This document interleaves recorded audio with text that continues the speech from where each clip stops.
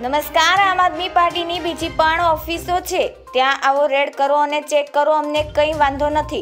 પરંતુ તમે આ વાત છુપાવો છો, શું કામ? ઈસુદાન ગઢવીનું કહેવું છે. આમ આદમી પાર્ટીના નેશનલ જોઈન્ટ જનરલ સેક્રેટરી દ્વારા મહત્વપૂર્ણ મુદ્દે મીડિયા અને સંબોધતા જણાવ્યું કે, જે રીતે ગુજરાતની અંદર આમ આદમી પાર્ટીનું પ્રભુત્વ દિવસે વધુ જઈ રહ્યું છે, તેના કારણે ભાજપ ડરી ગયું છે. તેમાં ભાજપના સત્તાવીસ વર્ષના કુશા કુશાસનનો હવે અંત આવવાનો જઈ રહ્યો છે.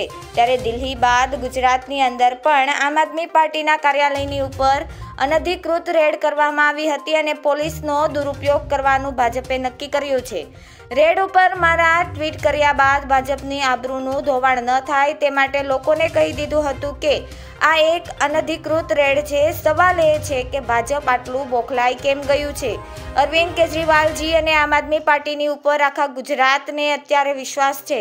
પોલીસના દુરુપયોગ કરવામાં આવે છે અને મારી આ લોકોને વિનંતી છે કે તમને લાગે તો આમ આદમી પાર્ટીની બીજી પણ ઓફિસ હશે ત્યાં રેડ કરો. ધન્યવાદ.